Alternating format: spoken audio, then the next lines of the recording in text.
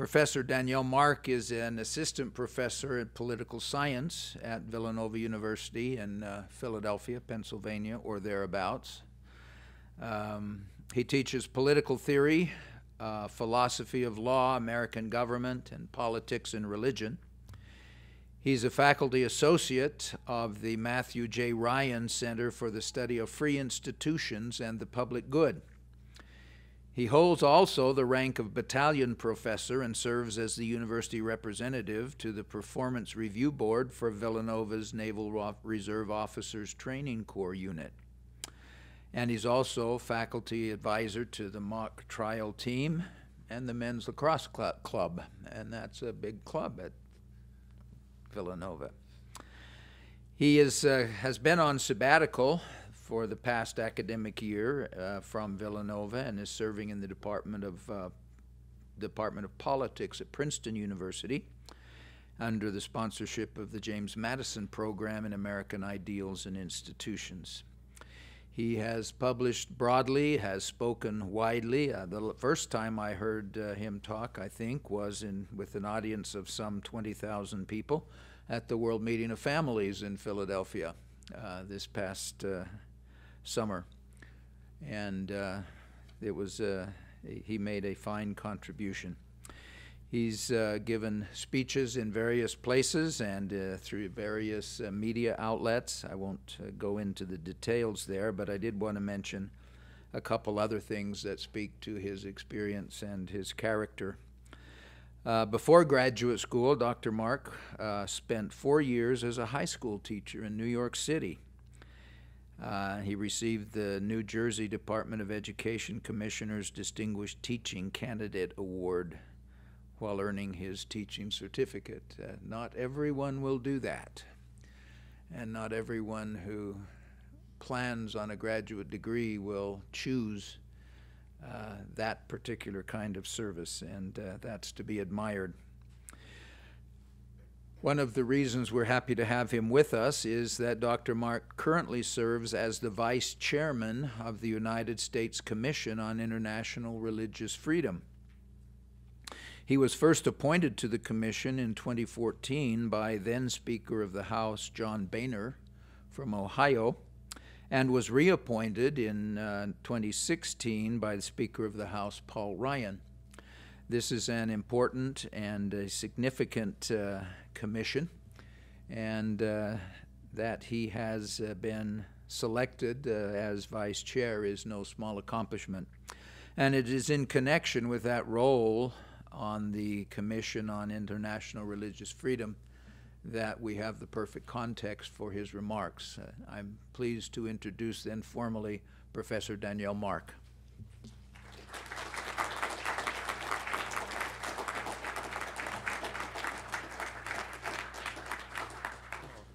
Thank you very much for the very generous, very, very generous introduction.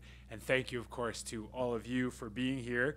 Uh, I'm honored to be a guest of the Wheatley Institution. Thank you to Dr. Williams and Dr. Falconer for having me, and especially to Emily Reynolds uh, for inviting me and arranging my trip. Uh, my first time at BYU, as a matter of fact, was uh, almost a year ago, uh, and I, uh, or just over a year ago, I should say, and I absolutely love coming here. So thank you for having me, and hopefully you'll have me back again soon. 20 years ago, Samuel Huntington published his renowned book, The Clash of Civilizations.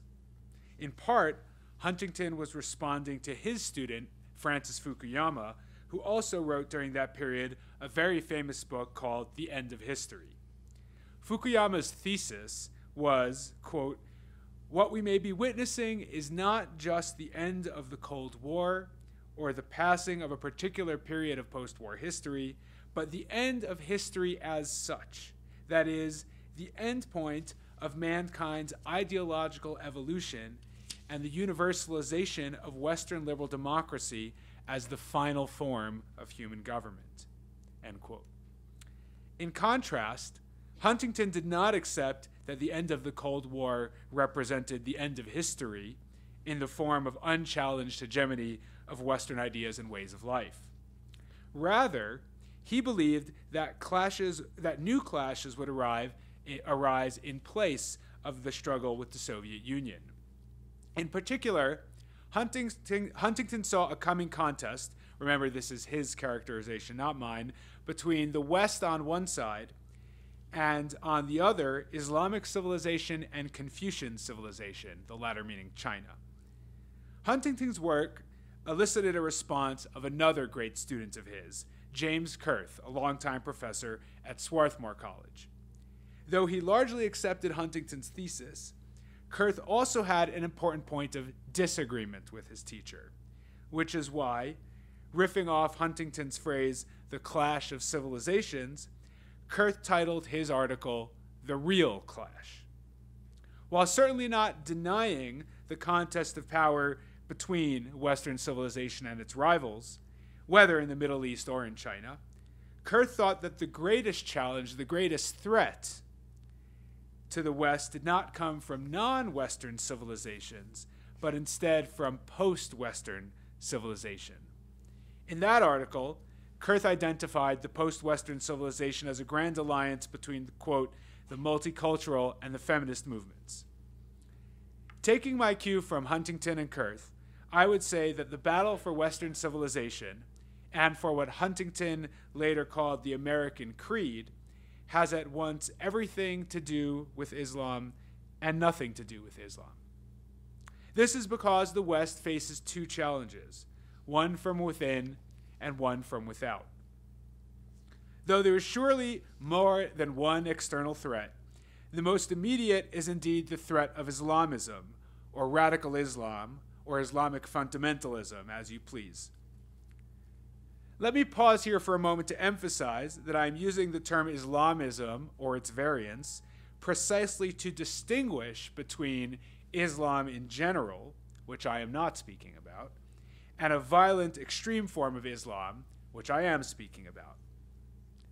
Whether Islamism is or is not a legitimate re- interpretation of Islam is a subject for scholars of Islam and not my topic here. The chief internal threat allowing again that there is more than one source of danger, of course. I will call progressivism to encompass the additional elements of the post West that have flowered since Kurth wrote. My plan for us today is to explore the external and internal threats in turn, and then to consider the relationship between the two, with special emphasis for religious uh, for the implications uh, for religious liberty. And I'll try to get increasingly provocative as we get on. So Hopefully, that'll keep your attention. As you know, the West is locked in a bitter fight with Islamism. Again, not Islam in general, but with a radical, violent version of Islam. This is, of course, in the headlines every day. We don't know yet how it will end. It may be a fight to the death, a clash that ends when one side vanquishes the other, as in the case of the Cold War. Or it may continue interminably into the future, flaring up from time to time, but never being fully resolved. In that case, we would have a new normal, as we call it that days, one that would include occasional terrorist attacks, occasional military action in the Middle East, increasingly restrictive domestic security measures like free massages at the airport, not just at airports, of course, but in a myriad of public venues, and the likelihood of further proliferation of unconventional weapons. But this struggle doesn't have to end either in an all out battle or in an interminable low burn. Maybe, like the Soviet Union, Islam, Islamism will collapse under the weight of its own horror. On that view, maybe Islamism is already digging its own grave. Maybe our free and pro- prosperous society will, as before, overwhelm darkness and tyranny. Still, it would be a mistake to assume that the lesson of the Cold War is that the West always wins, that it is only a matter of time before our enemies collapse at our feet. A reprise of 1991 would be nice. 1991, for the vast majority of you that may have been born before 1991, is when the Cold War ended, sort of. Um, I mean, I'm too young to remember it too, almost, but still. Um, a reprise of 1991 would be nice, but it is also possible that one day the West, instead of overwhelming its enemies, will be overwhelmed by its enemies. That would also bring an end to the current clash of civilizations, though less favorably. Yet there is one more option, neither a decisive victory by either side, nor an indefinite stalemate, but instead a rapprochement made possible by an Islamic enlightenment. An Islamic enlightenment would offer a way out of the dilemma of choosing between a hot war and a cold war. What do I mean by an Islamic enlightenment? We know that both Judaism and Christianity have violence in their scripture, theology, or history. But we also know that both faiths overcame the prescriptions for violence. Already two millennia ago, the rabbis were interpreting violence out of Jewish law, out of the Jewish, out of the Jewish Bible. In this tradition, talionic law, an eye for an eye, was only a metaphor for monetary restitution. Capital punishment was impossible to implement, and there were no identifiable peoples subject to the biblical prescription of being wiped from the face of the earth. In this way, Judaism became civilized. Though Christians employed religious violence, having sovereignty as Jews did not, for many more centuries, they too eventually renounced the use of violence for religious ends. After a long and bloody history, Christianity too became civilized. As I said before, I am not a scholar of Islam, so I do not know whether Islam will undergo its own enlightenment. Needless to say, much of Islam is in this sense already civilized, and there are many Muslims with this enlightened, nonviolent view of Islam. At the same time, we must admit that this enlightened view of Islam is often not, not the dominant form in many places where Islam has the most power. This applies most especially, of course, to ISIS and the like. But as an aside, I must mention as well Saudi Arabia, Pakistan, or Iran, or any other country where people can be imprisoned or even executed for crimes such as apostasy and blasphemy or witchcraft and sorcery. So we may be as hopeful as we wish. Yet, if an Islamic enlightenment is not on the way, that is, if a peaceful Islam is unlikely in the near future to crowd out violent Islamism anytime soon, then we must defeat Islamism.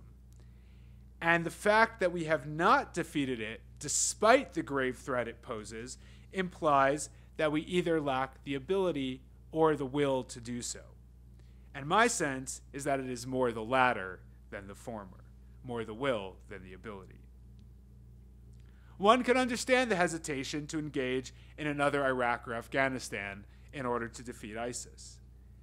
But I think that our unwillingness, which then becomes an inability, in turn, to fight for Western civilization in the face of such an acute threat, runs deeper than the military challenges of such an undertaking, considerable though they may be. I believe that it traces back to what I see as a core sickness in our society. The central problem is what I call philosophical hedonism. In its crudest form, it has a slogan from half a century ago If it feels good, do it. But today, it goes further than this mushy non sequitur. From its days as a lazy excuse, it has hardened into a much more concrete and robust non sequitur. It now appears as the philosophical claim that things are good because we desire them. I refer to this as a theory of self validating goods. Things are good, or put better, goods are worth seeking simply because they are desired. So it's not a matter of the kind of unthinking pleasure, uh, unthinking pleasure seeking found on other college campuses besides this one. It's rooted in a philosophical view, hence philosophical hedonism. Again, the idea that things are good because we desire them. And if you only remember one thing I say today, it's that this idea is wrong. As I said, this is a non sequitur because there's nothing about my desiring something just as such that makes it good.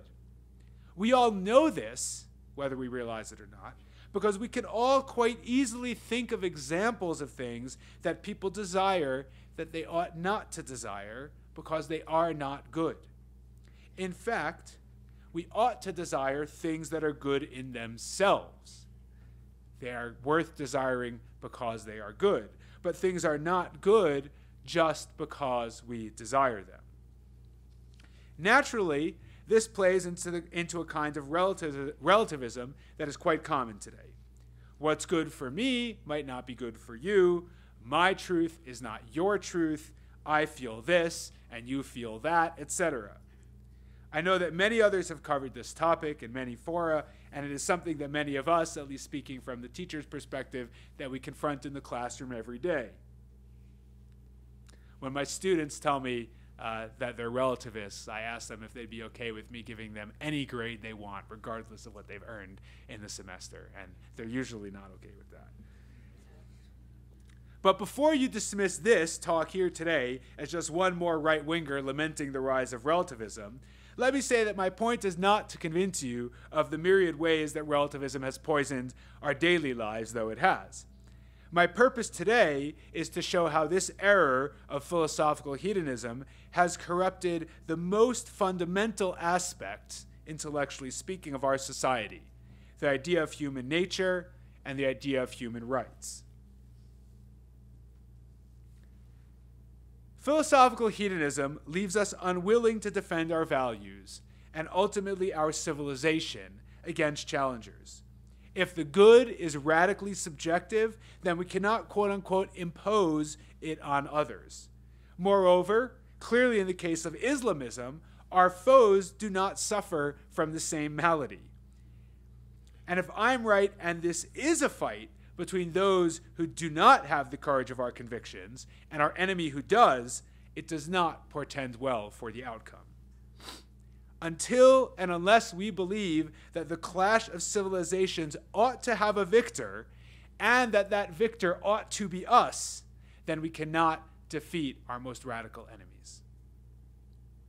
By now, you may have already intuited why I said earlier that the real clash and the prospects for Western civilization have at once everything to do with Islam and nothing to do with Islam.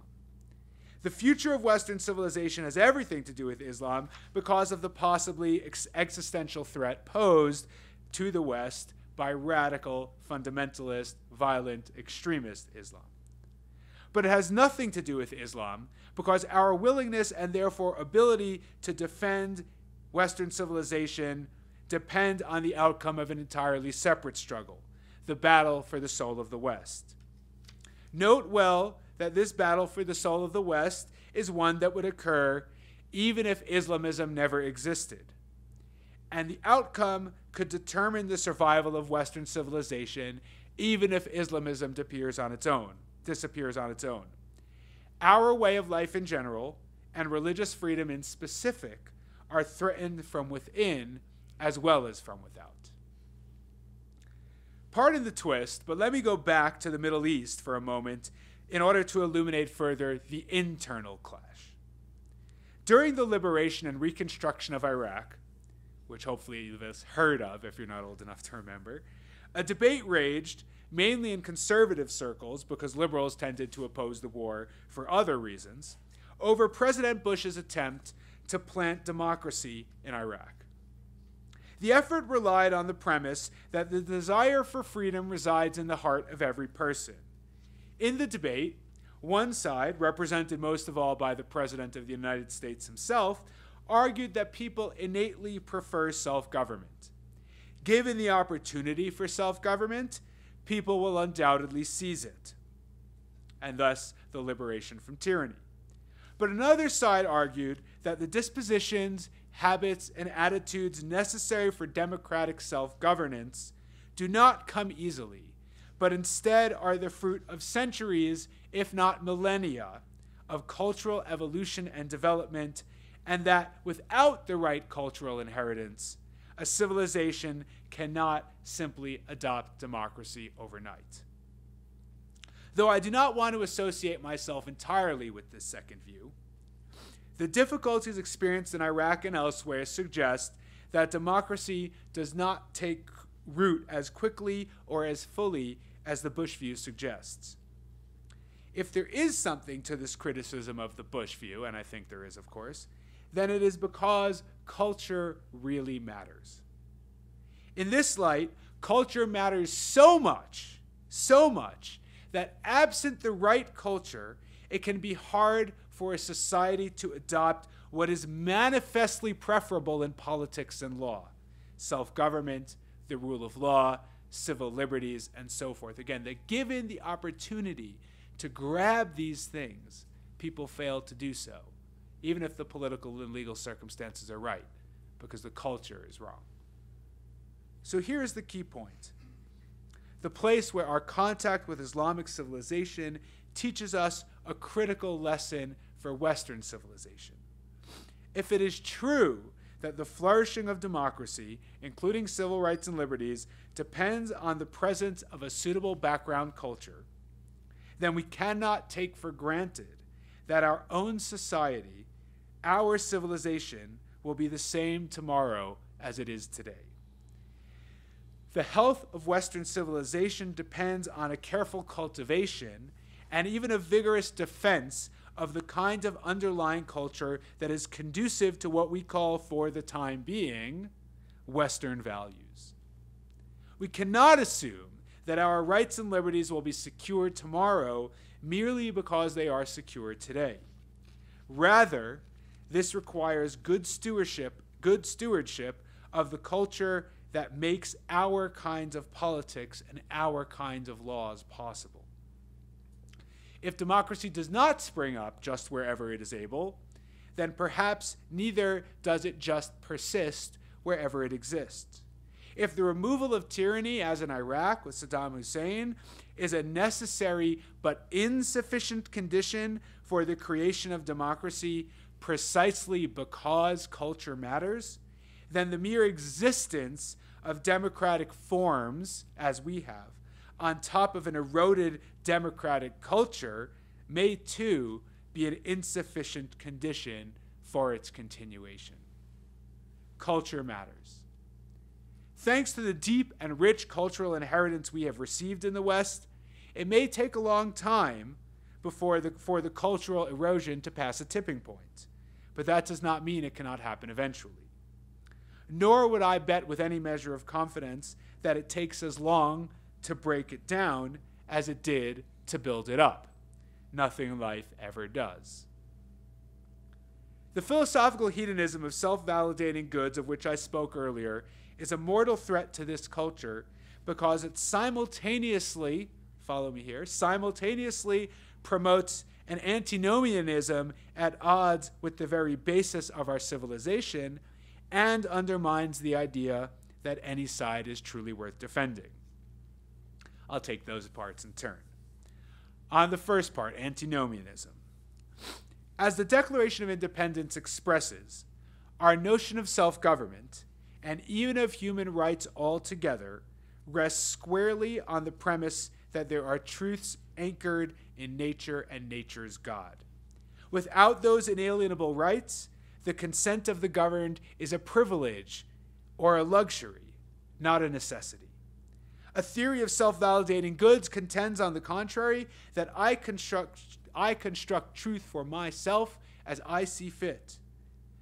But if we construct truth for ourselves as we see fit, then we can have no a priori claims of rights against our tyrannical masters. Tyranny and slavery can be wrong for you and your culture, but right for me and my culture. Maybe that's my truth.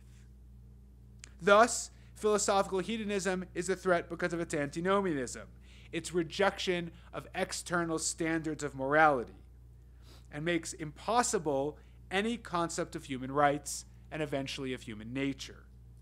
And this leads immediately and necessarily to the second part its undermining of the notion that any side is worth defending. As I said before, philosophical hedonism is a close culture of relativism, close cousin of relativism.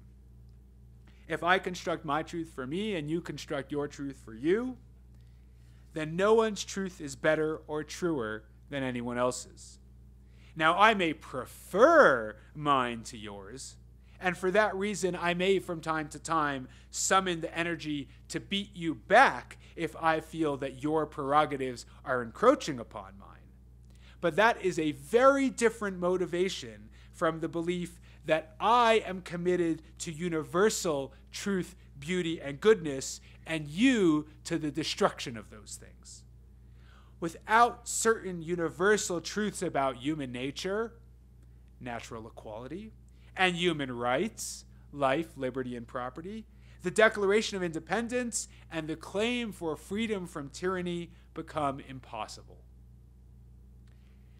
In this way, the rise of progressivism matters both intrinsically in terms of whether Western civilization will remain committed to real truth, beauty, and goodness, and also instrumentally with respect to whether it will muster the strength to, save, uh, to stave off a competing civilization. Here, we see the internal threat and the external threat inextricably intertwined, as the former renders us impotent in the face of the latter. Now to religious liberty. Needless to say, the advance of Islamism, of radical Islam, is a terrible threat to religious freedom. But as I've already hinted, we don't need ISIS to conquer the West, as perhaps it hopes to do, in order to lose our religious freedom. Islamism is not the first and probably not the last threat to religious freedom in the world. All manner of tyrants, secular and religious, set themselves against religious freedom, from the atheist communists of China and Cuba to the Hindu ultranationalists of India and Buddhist ultranationalists of Burma. And yes, those people exist, and some of them are very bad. And the reason that tyrants are a threat to religious freedom is that religious freedom is a threat to tyranny. Let me explain. In America, here in America, we sometimes refer to religious freedom as the first freedom. In a very literal sense, as you know, I hope, religious freedom is the first freedom in our Bill of Rights. Congress shall make no law respecting an establishment of religion or prohibiting the free exercise thereof. Those are the first words of the First Amendment. But there is a deeper sense in which religious freedom is the first freedom. There is a puzzling episode in chapter 5 of the book of Exodus. Hope you guys are reading your Exodus. There, Moses asks Pharaoh to let the Israelites go to the wilderness for three days to worship God.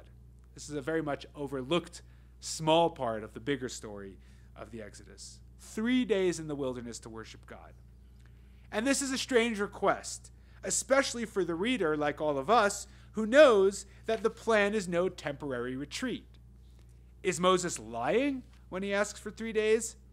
If he is lying, it isn't a very good ruse since Pharaoh, apparently wise to Moses' tricks, says sure, they can go to the wilderness for three days if they leave the women and children behind, thereby obviously ensuring that the men will return after the three days. And even then, what is Pharaoh worried about? We know that when the Israelites really do leave, they only manage to escape the pursuing Egyptian army thanks to the unexpected miracle that splits the sea. So why not let the Israelites, men, women, and children, go for three days? Even if Moses is lying, where are they going to go? If they make a break for it, the army can easily retrieve them, precisely as Pharaoh intends to do when they actually leave. Still, to allow the Israelites to go worship their God, to exercise religious freedom, even in this small way, would be to recognize a power beyond Pharaoh's own. It would be to admit that the Israelites did not belong wholly to Pharaoh, that they were subject to a higher power, and possibly that everyone else was too. That is, it would be to concede, just in those three days, that the Israelites are not ultimately subjects of the Egyptian God King, but of the transcendent God King. Religious freedom is the first freedom because it is the first place we learn the idea, conceptually and perhaps historically as well, that our whole lives do not belong to the state, that there is a realm of life beyond the reach of the state. In the pagan world, including Egypt, a world in which the gods were the gods of the city, the state claimed everything for itself. The state claimed the whole individual for itself, not just the power of life and death, but also the entirety of a person's allegiance. to oppose the political order or the ruler was not only treason as today, but sacrilege. And then there came a new era a time to render unto Caesar what was Caesar's, and to render unto God what was God's. The transcendent state was replaced by a transcendent God who declared that there was an authority outside and above the state, and that man's ultimate fulfillment was not in the city, but in the city of God. From there, everything else follows. Once we establish in principle the limited state, limited by God and the nature He created, we open the door to the whole family of freedoms that we now know as human rights. In this way, religious freedom is the surest bulwark against totalitarianism, and it explains why dictators everywhere are always so keen on stamping it out. As you heard in that exceptionally kind introduction, I serve on the U.S. Commission on International Religious Freedom. And if you want to ask about during the Q&A, I'm happy to take questions about that as well, in addition to the talk. Or Villanova basketball. Without, we joke when we say Villanova, I say I teach at a basketball school outside of Philadelphia, or a basketball program outside. Without comparing the two, let me say that the threats to religious freedom in the U.S. and those abroad are related conceptually. To be clear, our troubles here in the United States absolutely pale in comparison to those of the Falun Gong in China, or Rohingya Muslims in Burma, or Baha'i in Iran, to say nothing of Christians today in almost every bad place these days. As a result, one might think that the natural, even appropriate reaction would be for Americans to be complacent or quiescent with regard to the religious freedom situation here at home. But the truth is quite to the contrary. The dire situation with respect to international religious freedom, in which nearly three quarters of the world's population lives in regimes that substantially restrict religious freedom, is not a cause for Western complacency or quiescence, much less triumphalism. Rather, precisely because the picture is so bleak abroad, we have a terrible, constant reminder how precious and fragile our inheritance, our inheritance here is. The situation around the world is a painfully unyielding witness to how we must not take for granted the culture that undergirds our values and instead how we must guard it ever so vigilantly. In this sense, the struggle for religious freedom, too, has everything to do with Islam and nothing to do with Islam. On one hand, radical Islam is today the most acute threat, acute threat to religious freedom for millions of people. On the other hand, the difficulty of establish, establishing religious freedom in Iraq or Afghanistan shows us how critical it is to cultivate and safeguard the kind of culture that makes religious freedom possible anywhere. If I am right about the role of culture, then to lose our rights, we don't need ISIS or the Soviet Union. Progressivism can do that just fine on its own. Another concern about the trajectory of progressivism is the rise of the nones, namely the portion of the population that answers none, N O N E, when asked about religious affiliation. This is reportedly the fastest growing religious group in America. A key worry about this trend is that people who do not value religion are unlikely to value religious freedom. This is one reason why Yuval Levin, the editor of National Affairs and one of the country's leading conservative public intellectuals, is right that we cannot protect religious freedom by simply retreating behind the First Amendment and insisting that we have a constitutionally protected right to be wrong. Nowadays, when progressives accuse religious freedom of being nothing more than camouflage for bigotry, we must do more than simply assert that we have the right to be bigots. Otherwise, we will soon see legislatures and courts redefining the right to religious freedom and narrowing the scope of its protection. If you don't believe me, look at what's happening with guns. I mean, regardless of what you or I think about guns and gun rights, but just assessing the situation dispassionately. Progressives obviously don't think that gun rights should exist in the first place, but they are stuck with the inconvenient fact that gun rights are protected by the Constitution. So the progressive project involves seeing how far gun rights can be limited within that framework, if it cannot be changed altogether. As a thought experiment, imagine if people no longer valued the press, the media. How long would freedom of the press remain protected given all the mischief the press causes, from reporting on worthless celebrity gossip to undermining national security by revealing classified information. So too with religious freedom. If Americans do not appreciate the importance of living out one's faith, then religious freedom will fall when progressives cry foul. If religious if religion is silly and religious freedom is nothing more than a right to discriminate, then legal protections will fade away, notwithstanding any fancy clauses in the Constitution or anywhere else. And, in the interest of full disclosure, this is why some of us remain hopeful yet skeptical of the Utah Compromise, for those who know what that is. This narrowing of the right is already happening in a number of cases, as I hope you know, most often to do with the redefinition of marriage and with transgender issues. I won't rehearse the cases here, but suffice it to say that religious freedom has suffered a lot of blows lately. And it's anyone's guess what happens to the next administration, I think. To combat this, we must insist that religious freedom is more than the right to be stupid, crazy, weird, or evil. We must not buy into the progressive narrative that religious freedom is just the right to be wrong. Rather, it is the right to live out every aspect of one's life in witness to the world of a more excellent way, to be a light unto the nations. Indeed, religious freedom is unavoidably both public and collective, as reflected in the Universal Declaration of Human Rights, which ensures the right to practice in private or public, alone or in groups. And if you've noticed, uh, the church also now has on its website a nice, like, two-page document on religion, what are gospel topics is what it's called, right? Gospel topics, where it quotes not only the First Amendment but the Universal Declaration of Human Rights, and it's good material.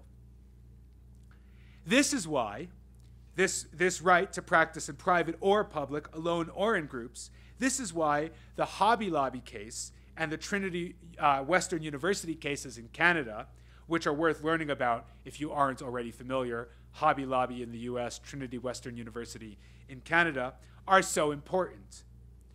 The question in those cases is whether you are allowed to be a Christian in public or only within your home and maybe the four walls of your church on Sundays. And when I say to be a Christian in public, I don't just mean to wear a cross around your neck that others can see, which the French might ban in any case, but to bring Christian principles into every aspect of your life your political involvement, your commercial activity, your social interactions, your volunteer work, and everything else you do. Something this Jew humbly thinks is part of the gospel message. Harvard professor Michael Sandel, who is no conservative, I assure you, has written that religious freedom is not the freedom to live how you want, but the freedom to live how you must. To live as you are obligated to live and have no choice but to live on account of the command to which you are responding. Freedom of conscience is similar. Freedom of conscience is not protected because our preferences are so important but because to follow one's conscience in the truest sense is, again, to respond to an imperative that one has no choice but to obey. I should add that precisely because it's a matter of living according to how you understand yourself to be obligated to live, the state cannot coerce in such matters and must allow freedom of religion and freedom of conscience. In our time, contrary to this understanding, religious freedom has often been reduced to a species of autonomy or freedom of choice. This follows from the central problem I cited earlier the theory of self validating norms or self validating goods. If we individuals, if we individuals are, are ourselves the ultimate sources of meaning and authority, then all of our choices are just that choices, which is to say, selections from among different possible preferences vanilla or chocolate. To be sure, progressives do not always think of autonomy as just the satisfaction of preferences. Autonomy is about authenticity, they tell us, about being true to oneself. But what does that mean? Autonomy as authenticity in the cheap modern sense leaves us with the sneaking suspicion that to be true to oneself means little more than living according to one's preferences or wish, wish fulfillment. For progressivism, these preferences are no less valuable than the dictates of conscience, so long as they are my preferences. Therefore, if you'll allow me to close on a highly provocative note, our unwillingness to stand up to ISIS is not unrelated to our grotesque tolerance of the phenomenon of so called transgender children. There is a clash of civilizations, and there is a clash in civilization. If our society cannot render judgments about right and wrong, good and bad, truth and falsehood, beyond the prerogative of every person to decide for himself, then we can say no more that Islamism is wrong to kill innocents than we can say that a man is a man and a woman is a woman. The internal threat of philosophical hedonism is thus a problem in its own right, and also the reason we cannot stand up to the external threat of Islamism. Victory in both cases requires, as a starting point, firm conviction in what has traditionally been known as Western values. Is there a basic human right to think, believe, speak, pray, and live as one wishes? Or should the ISIS genocide proceed? In other words, do human rights exist? Is there such a thing as man and woman? Or is the meaning of our biology entirely constructed? In other words, does human nature exist? Do human rights exist? Does human nature exist?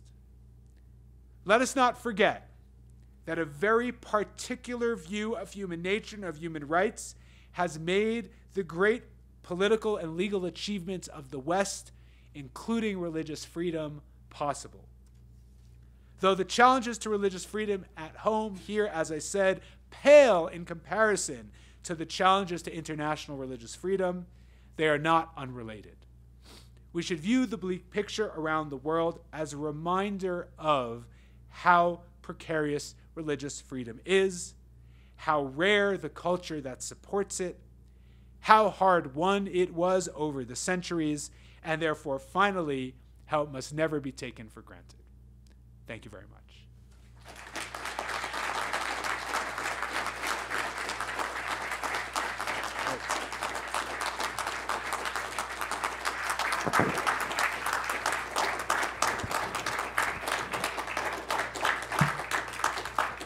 I've got my first day of classes of the semester at Villanova tomorrow, so my red eye is not till midnight, so I can stay as long as you want uh, to answer your questions.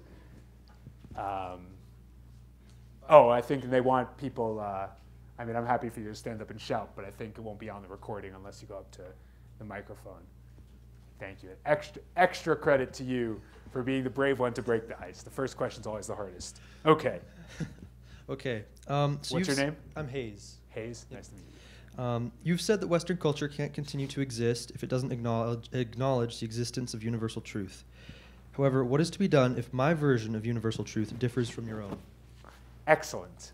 Thank you for the outstanding question. The answer is we discuss it. Philosophy, Socrates. Um, the, one of the mistakes that we make, and one of the mistakes that I think my students make so often, is thinking that the presence of disagreement about truth implies the absence of truth. And that's a, that's a non sequitur. If you're studying for the LSATs, and I hope you're not, because um, I don't want you all to be lawyers. In teaching political science in Villanova, I like, feel like 90% of my students is I just run a little cottage industry in discouraging people. From unless you're going to BYU Law School is amazing, you should go to BYU Law School. But anyway, um, uh, so um, and maybe they'll hire me one day, hopefully. But uh, um, uh, uh, and uh, uh, that's a very that's a very very common error to think. Um, uh, that because we disagree about the truth, therefore neither of us can be right. But from everyday life, you know that people can disagree, and one of them can be wrong, and one of them can be right. Now, the harder part is figuring out who's wrong and who's right. Um, so, what do you need for that? Um, you need a good education. Check, you're here, excellent. Um, um and then you need a lot of virtue, uh, right? It's a combination of uh, um, knowledge and virtue. Um, I mean, if you don't have any facts in your head, you're not going to have much to work with. Um, but then you need virtue. Why do I say you need virtue? Because you need wisdom uh, to see right from wrong when it confronts you. Um, you need patience and humility to listen to others and consider the fact that you might be wrong. Um, uh, you need the courage to change your mind if it turns out you are wrong. This is one of the hardest things, right? The three, uh, uh, the, the three rules um, you need uh, to grow are one, um, to be uh, engaged in the quest for truth, two, uh, to, which is right to ask the questions, um, two, to honestly uh, pursue the answers, and three, to live according to the truth that you find, even if it's uncomfortable at first. Um, ask the questions, seek the answers, and live the truth. Um, now, um, now, none of this is going to be easy, right? Philosophy can be hard, philosophy can be messy. I hope some of you have read Plato, some of the Socratic dialogues, and you see Socrates engaged in this uh, attempt to teach the truth, sometimes successful, sometimes not, of course, ending in his death, or we might say martyrdom for the truth. Um, Jesus Christ has a very similar experience, uh, you may recall, trying to teach the truth and dying for it. Um, um, so, um, uh, so it, I don't want you to think this is a cop out answer because it's not. Uh, but the answer is philosophy. Uh, the answer is that a lot of people with goodwill and good minds, hopefully, work together in the common shared project of pursuing the truth. And with enough good faith and enough elbow grease, because it's not easy, um, we will gradually, over time, uh, move toward the truth. We will make a lot of mistakes, and some of those mistakes will be cataclysmic. Um, but, uh, um, but there is no, um, uh, there's no silver bullet uh, to get us to the truth. It's just a lot of hard work and a lot of intellectual humility.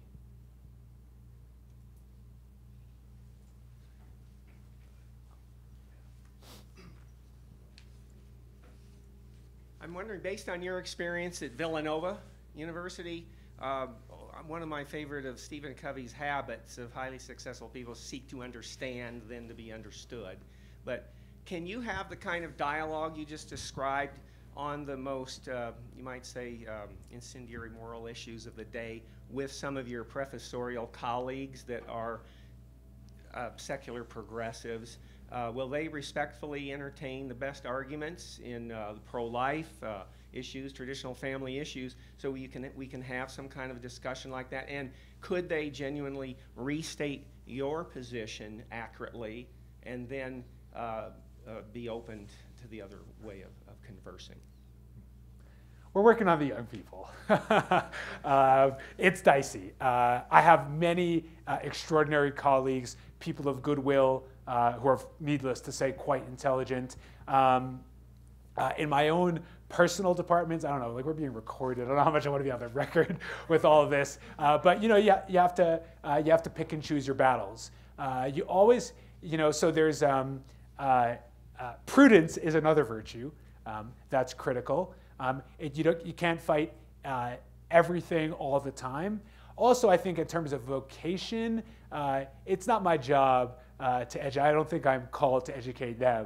I'm called to educate my students. Um, and so I'm much more concerned um, about uh, you know, preserving my prerogative to do in the classroom what I want to do Um, now, of course, that's an issue too, right? To the extent that academic freedom becomes endangered, that is a real threat. Because, right, if I never have a single conversation about this stuff with my colleagues, um, uh, I won't care that much. But if I can't if I can't speak to my students about it. You know, it happens to be in my classroom. I don't actually teach according to my own views. I teach down the middle and let them figure out. Longer story if someone wants to know about that teaching philosophy. So my students don't actually know what I think. In my office, different story. We have, I like to, I like, oh God, I'm in so much trouble. I like to joke uh, that, that my office is like the real safe space uh, uh, because uh, students can really say what they think. But um, but but I uh, just going back to where I was before, I do want to say um, that prudence um, can too easily sometimes become an excuse for cowardice. Uh, and I, I, speak, I speak accusing myself. Uh, um, I, speak uh, uh as the guilty party. Um, you have to pick and choose your battles, um, but if you want, uh, you can always say, oh, well, this isn't a good battle to fight. Um, you do need to be a proud and courageous witness for the truth uh, in the right place in the right time. How do you know what the right place and the right time is? Well, experience, prayer, luck.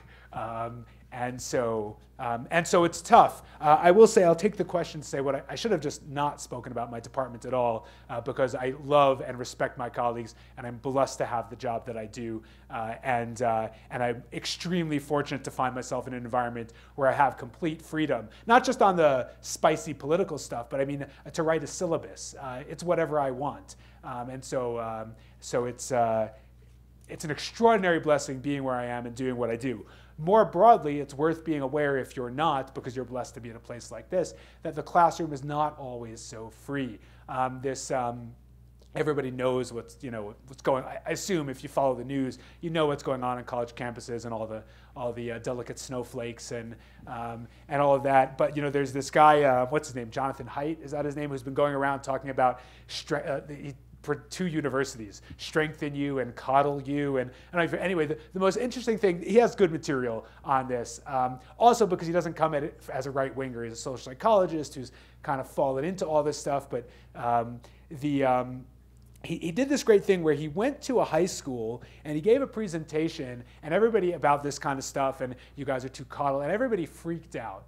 Um, and then when he had smaller, it was like really unsuccessful presentation.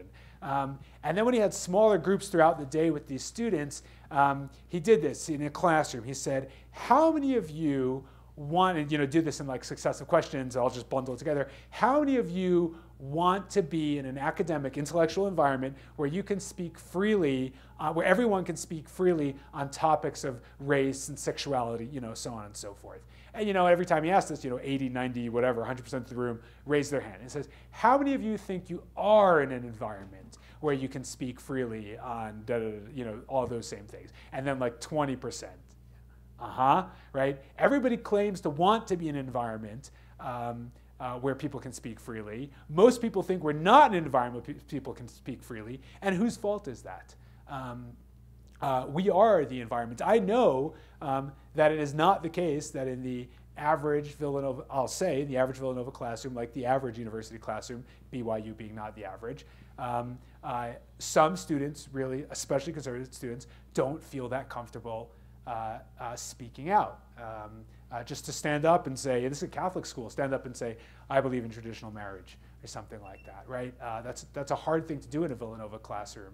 Um, and, uh, and so it's really important that we all work together. And part of it comes, part of it comes from, part of it comes from, I guess I'm lighting some fires here, it's getting longer. Uh, part of it comes, part of it comes from pushing, right? Every time we choose to be silent, we enable those who would push us into silence. Um, and so it is important to speak up. Okay, give shorter answers so we can get everyone. Yeah, sorry, go ahead.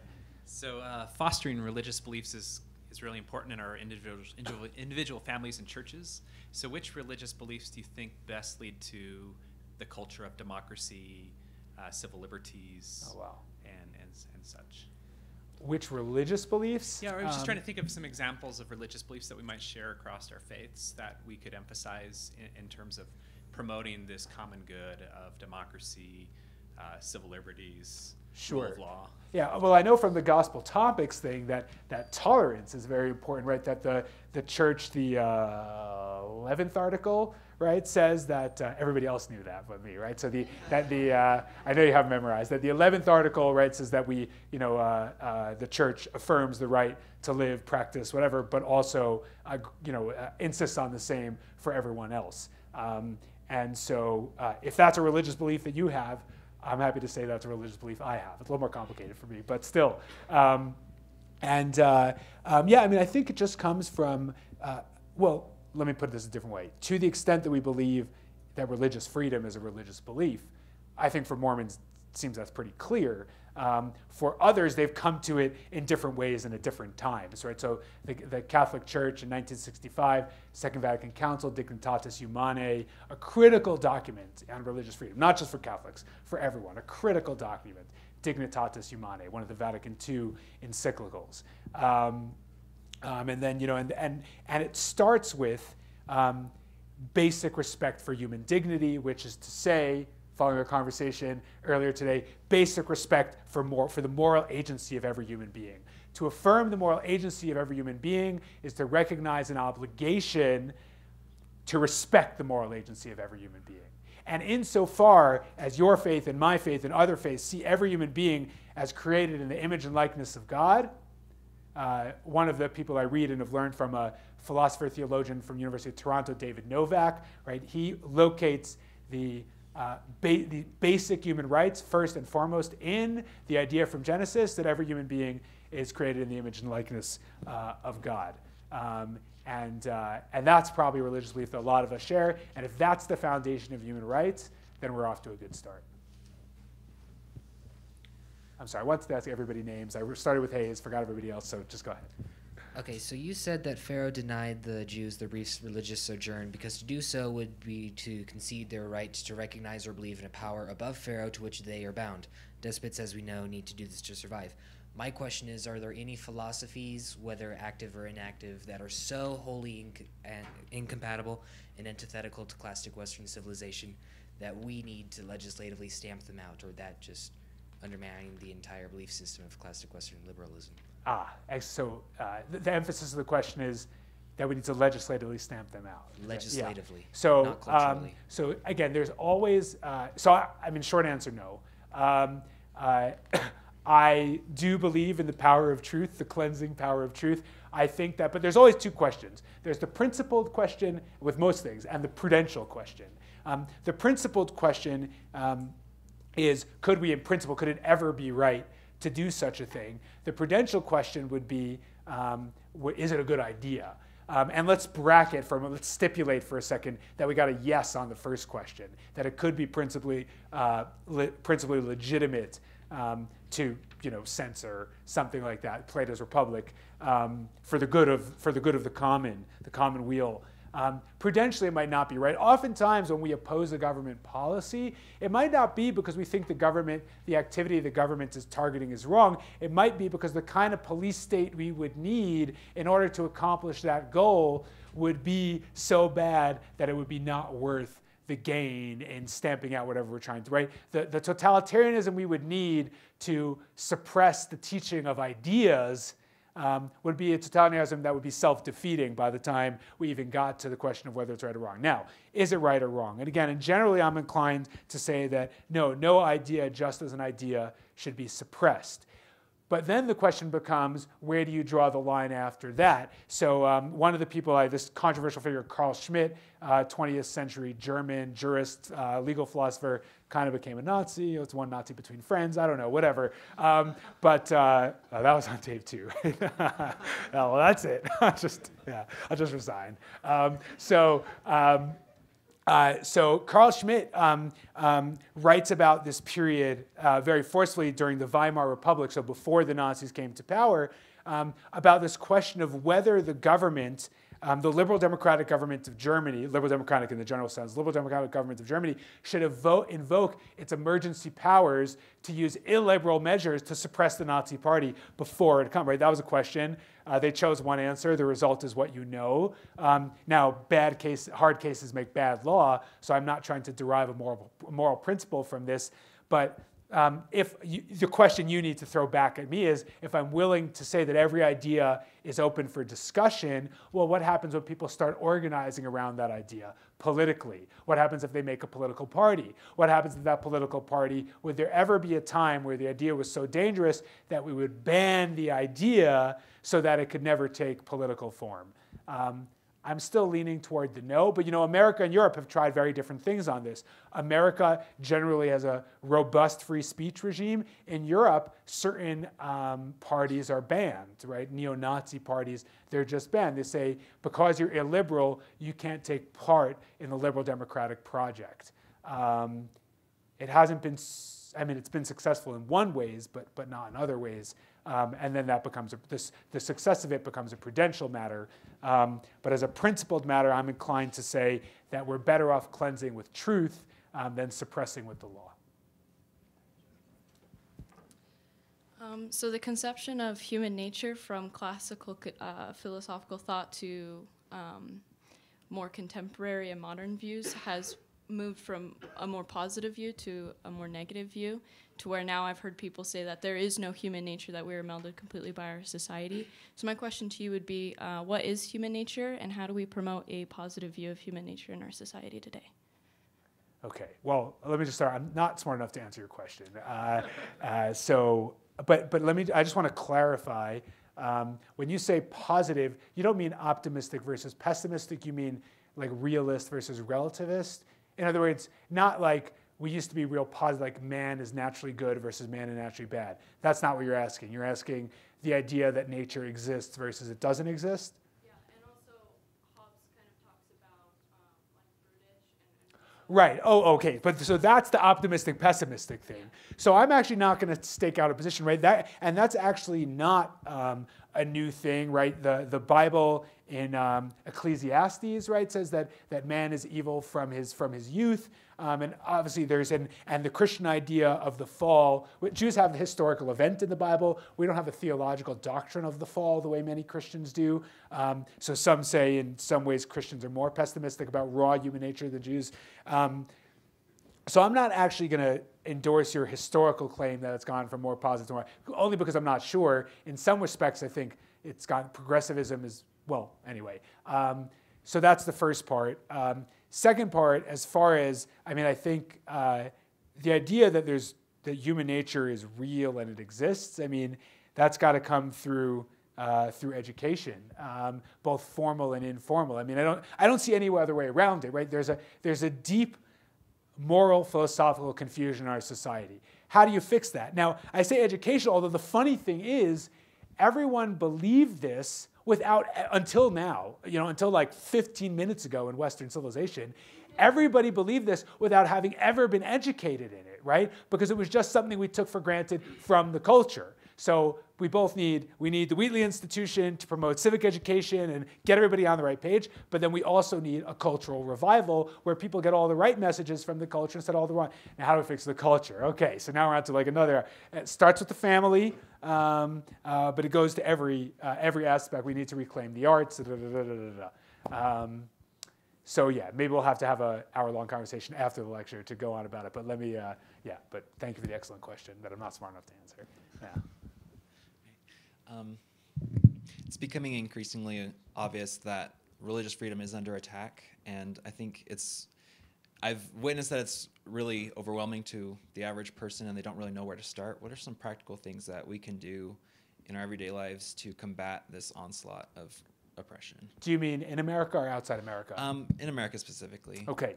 Um, so um, I'm not going to use the word oppression yet, though some groups have been oppressed. I just I don't want to. Uh, uh, raise the temperature unnecessarily, um, though some groups have been oppressed.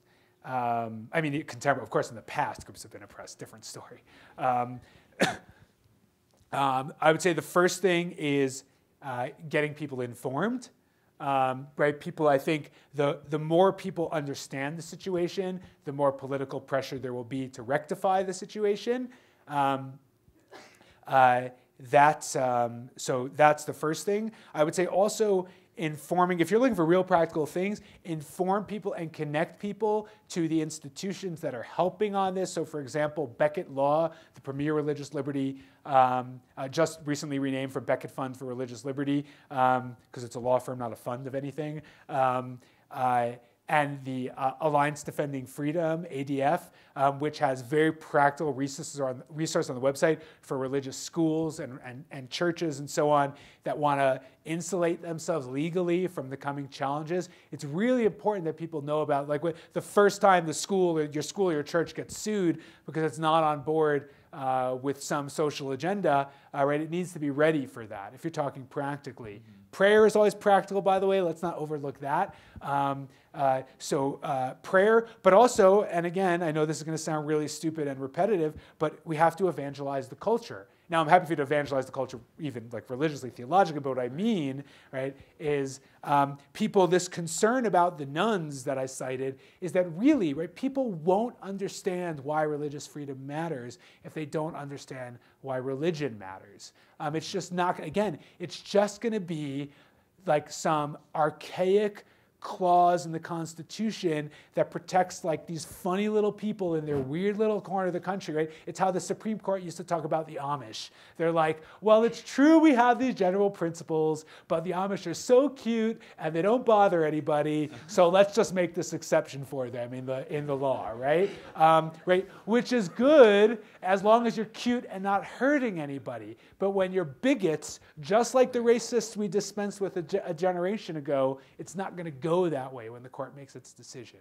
Um, so there's some practical things you can do: pray and educate and evangelize.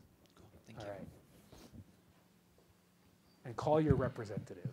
I guess. Um, so another like more practical question. Um, so I'm from Taiwan, and uh, our country now has a very huge debate uh, concerning the uh, gay marriage. Um, so the only opposed parties right now is mostly like Christian people in general, and they are not very good at like um, make their thesis or make their point like in a very more like uh, logical points. Yes. So uh, that makes it very hard to um, when the uh, the side that is like want the gay marriage to be lawful uh, to against them because they have a more complex structure. Um, so right now, like when I finished my mission, when I went back to Taiwan, most of my pe- my, my classmates they are very supportive for the law, and I can work until like I can put like I think I like religious like my religious aspect can be on the platform to discuss. They can accept that, but it's hard for them to accept that. Um, like when it turn into the like my virtue or like Yes. knowledge, it's Yes. kind of hard like to like um to talk to them that we believe like man and woman Yes. like it's a traditional marriage yes. where like even in Tai- like especially when Taiwan like most of people are not Christian Yes. so they don't even have the mindset that uh like the all the Christianity generally have Right. yeah, Yeah. Um, so uh, this is why this actually goes back to what I said about the taking it for granted. Um, we have. I'm going to say this in a bad way. We have done a very bad job of explaining, accounting for the traditional view of marriage. Now, I say that that's an unfair way to put it because, again, until about 15 minutes ago in world history, it was something that everybody took for granted. Right? It was it was really just kind of this universal uh, assumption about marriage and the family, even with small variations. Um, it was always in the context of men marrying women. Um, and so it was never something that called for explanation and elaboration, um, which is why there's a very intense project now by contemporary defenders of traditional marriage to make that, uh, make that argument, to give that account, to tell that story. Um, this has a lot to do with natural law. If anyone is familiar with natural law, which is kind of a, a school of philosophy that goes all the way back to Aristotle through Aquinas and, and so on, but has a contemporary following today as well. Natural law is a secular philosophy that attempts to account, among many other things, the good of marriage, the basic human good of marriage as the union of one man and one woman, uh, fulfilling, uh, you know, or, oriented both towards spousal unity and towards procreation. Now, that's just a headline. That's not an explanation I'm not going to give you. I can point you first and foremost to a relatively new book, a few years old now, called What is Marriage? It's the first full and robust attempt by defenders of traditional marriage. It's a short book, but um, to give the account, the traditional account of marriage, without relying on any religion or any theological premises. And then from there, you can find, you'll find the book, you'll find its three authors, the three co-authors, and starting with the Googling that book and those names um, and footnotes and everything like that, you can open yourself into a whole, uh, a whole world of, of discussion and debate that's going on by those who think that we need to be able to make the case coherently to people who don't want to take it for granted just because it's our religious view. Because everybody gets, okay, that's your religious view, fine. What about the rest of the world? And we need an account for the rest of the world that doesn't necessarily and shouldn't necessarily accept our theological premises. Thank you. Yes, go Yankees. of course. Um, so, um, going back to uh, comments about philosophizing, um, which I totally agree with. Um, so, I feel like in the culture that we live in today, um, and we've actually seen this come out a lot recently, is the revelation that a lot of people are living in echo chambers. Um, yes. Not only on social media, but even geographically, people are receding into echo chambers. So, do you think it's even possible in the current culture to get people together, come to the middle, philosophizing, and if it is possible, how how do you even how do you even get that started? Yeah, um, great question. I'll say by the way, in case people are getting anxious, uh, at, I promise that at 6:30 I will break this up. Uh, uh, 5:30, 6:30. I'm scared everyone. Sorry. At at 5:30, uh, uh, we'll break this up, and then I, but I will stay if people like want to come up and ask questions. But I just I will, I will at least finish uh, with the people. You can still get in line if you want, but I won't uh, keep talking. And then anyone who's not satisfied at that point can still come up, and I won't leave. So we'll be fair to everyone. Okay.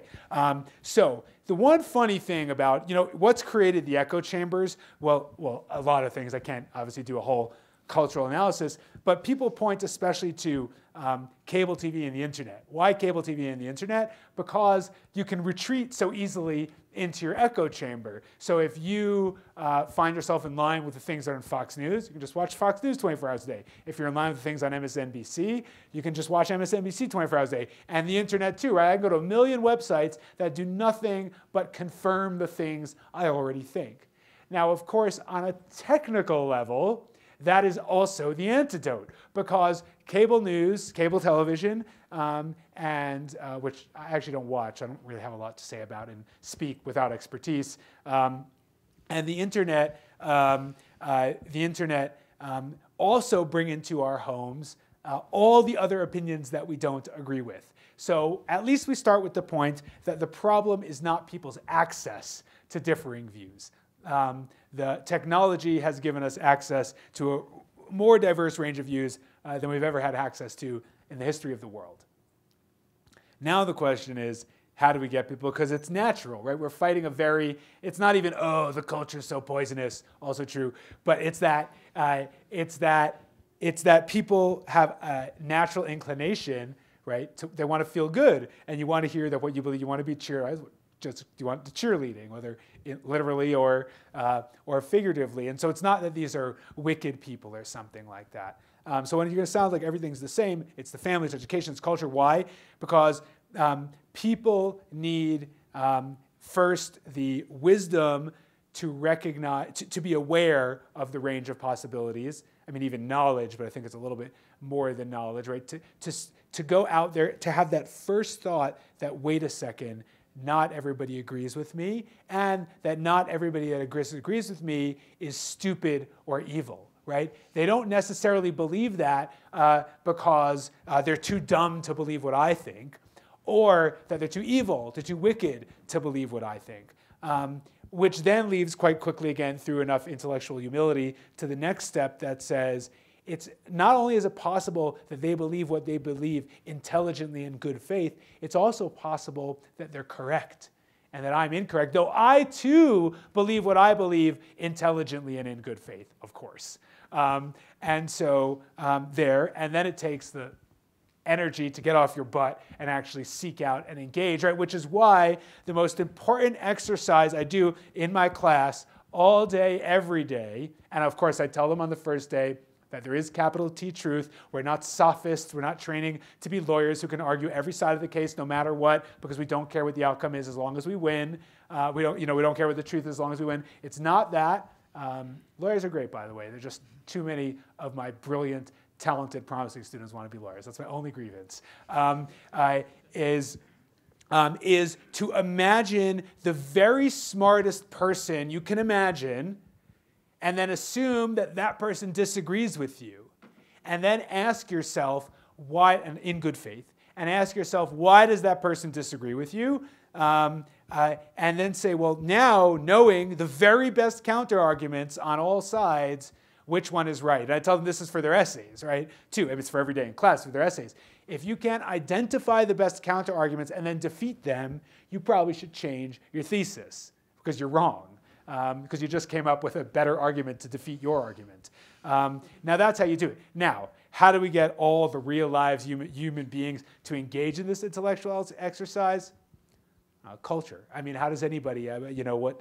Um, uh, people have to be virtuous. If people aren't virtuous, they're not going to be interested in looking at the world past the ends of their noses. They're not going to be humble enough to accept they might be wrong. They're not going to be courageous enough to explore frightening truths. And yeah. So that probably leaves you very unsatisfied, but that's the best I can do right now. Yeah. I'll just preface my question by saying I am in law school but I'm here at BYU, so I was happy to hear the praise no, for our law fine. school here. Blanket wanna, exemption for everyone at BYU. And I law. wanted to say my mother is a former colleague of yours on the commission, uh, okay. Katrina Swett. Oh my So I was gosh. happy to have the opportunity to come listen today. Thank you. Um, but sort of on a, I guess maybe on a, a practical note, you talked a lot about relativism, how how truth for certain people is different for truth, different from truth for other people nowadays, and how right. um, that's one of the main struggles we're facing as a as a Western civilization is how to how to come together and philosophize when when we can't even agree on on what truth means. Um, and I wanted to know if there are any sort of uh, topics in public debate and in in contemporary politics that you think people on all, all political sides can come together on and have an honest discussion on sort of equal footing with a with a, a somewhat equal understanding of what the truth of the matter is. Um, not meaning that people agree on what the solution to the problem is, but if you think there are any um, political problems nowadays where people can come together uh, and have a real political discussion to try to find solutions uh, in a, a meaningful and I don't know if you could say successful way, but in a, a positive way. Okay. First of all, I've been to your house in Bow, so I want you to tell Oh, the yeah. animals hi for me next time you're there. Okay. Um, yeah. Also, since he identified himself, his mother is a hero and a saint. Uh, and so, for anybody who's not familiar with the work of Katrina Lantos Swett and the Lantos Foundation for Human Rights, um, it's worth knowing. But this is the kind of person who's doing the kind of work that I'm talking about in defending religious freedom and human rights around the world, and it's a marvel.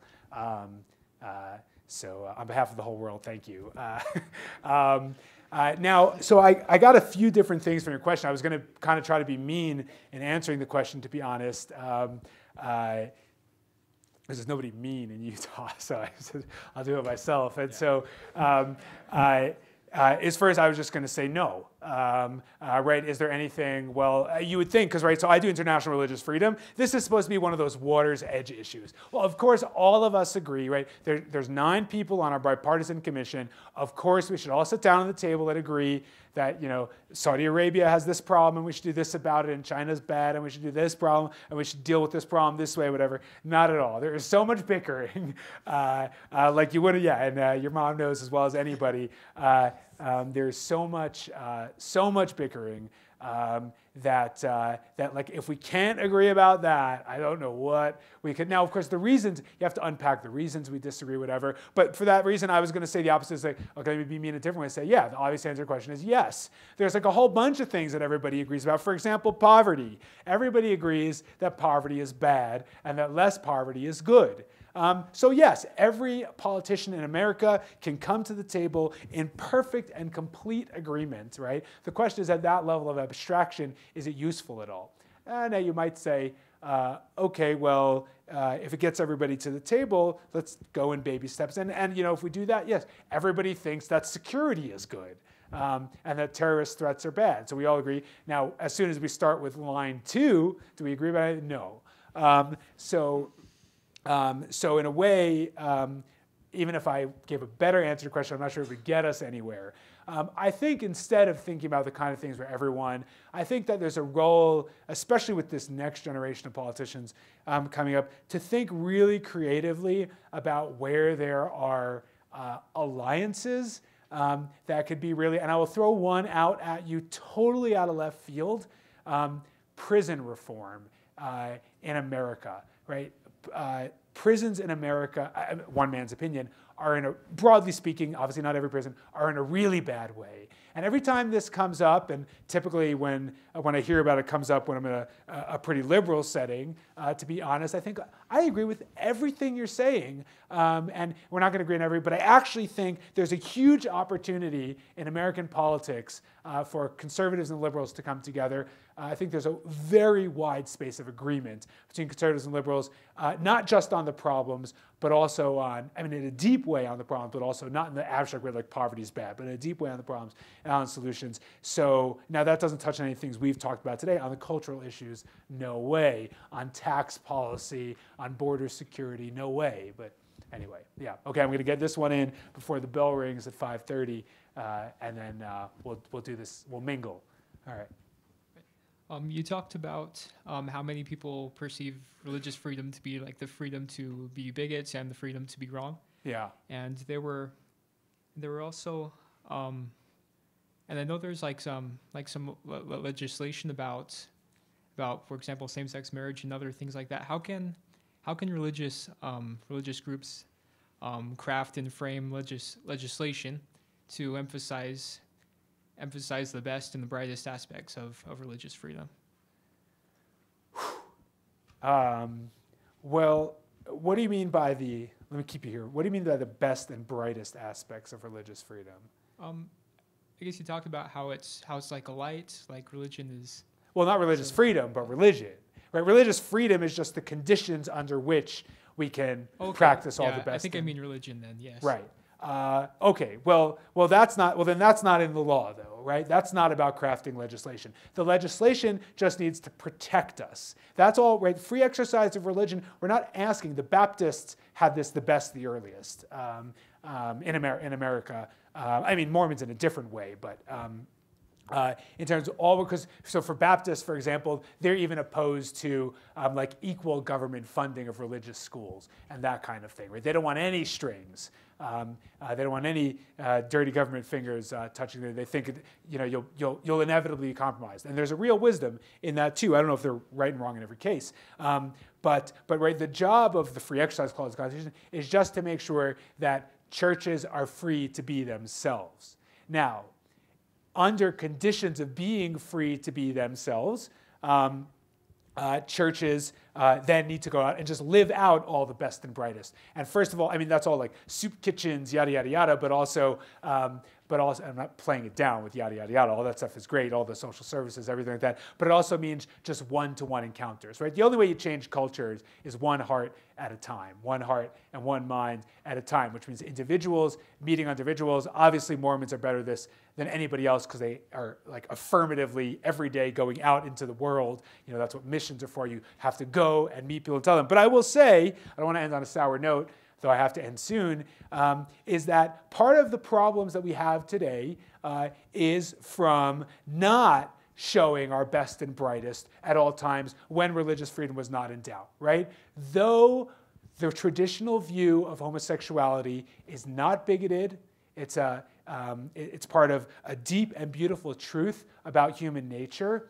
It is not true that every religious group in America treated homosexuality with the kind, the subject and individuals with same-sex attraction, experience same-sex attraction, with the kind of love and sensitivity that would be necessary for people to wake up in the 1990s and say, um, and say that, well, um, uh, um, you know, uh, uh, homosexuality identity is now a political force, but we don't have any problem with religion, right? Why are churches the enemy? There's a deeper reason why church is the enemy too, and that's a clash that's not going to go away. Um, but but once the law protects our right to show our best and brightest, then we actually have to do that. Otherwise, we deserve the problems that we have because if we don't use religious freedom to be our best selves, then we don't deserve we still deserve religious freedom because you can get your rights wrong and still have your rights.